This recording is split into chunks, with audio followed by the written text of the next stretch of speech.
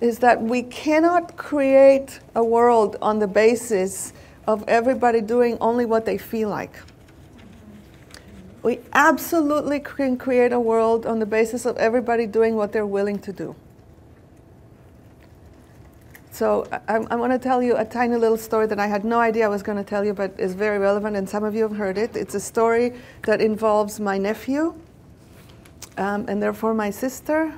Um, so that brings up a lot because my sister uh, is dealing with cancer for the last on and off for the last several years, and is no longer my active partner. She's not working, so um, that's pretty significant for me.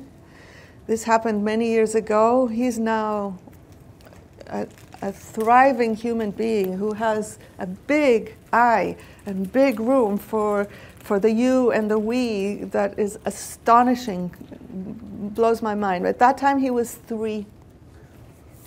Um, and um, parents, uh, uh, grandparents were staying in a downstairs room. And in the morning, he's banging on their head above their head in a, in a, you know, some kind of a bat or stick or something. And so in Inbal, my sister, says to him, seeing you bang the, on the floor, I'm worried about our guests because I want them to be able to sleep for as long as they want. That, that's a strategy, of course, but it is a colloquial way of expressing a need to a three year old would you be willing to bang on the sofa instead? So you see that this is already in that consciousness.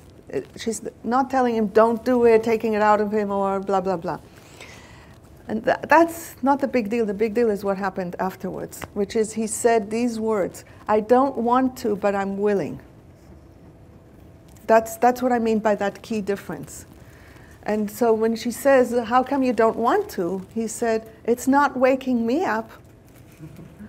And I, and I hope, I really hope that all of us can have that level of clarity. That's what, what the big I is, if, I, if I'm using your language. He knows what, what works for him and what doesn't, very simply and easily. Then she says, Then why are you willing? At three years old, he could articulate these words because I want to consider you.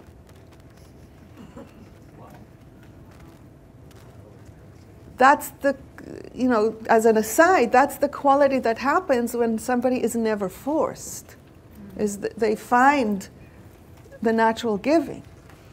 But the point of the story in this context is the distinction between want to and willing. And so I bank, I, am going to say dramatically and provocatively, I bank the future of, of the world on our capacity to mobilize willingness to do all that needs to be doing. Because not all of it is fun. Not all of it is intrinsically fun.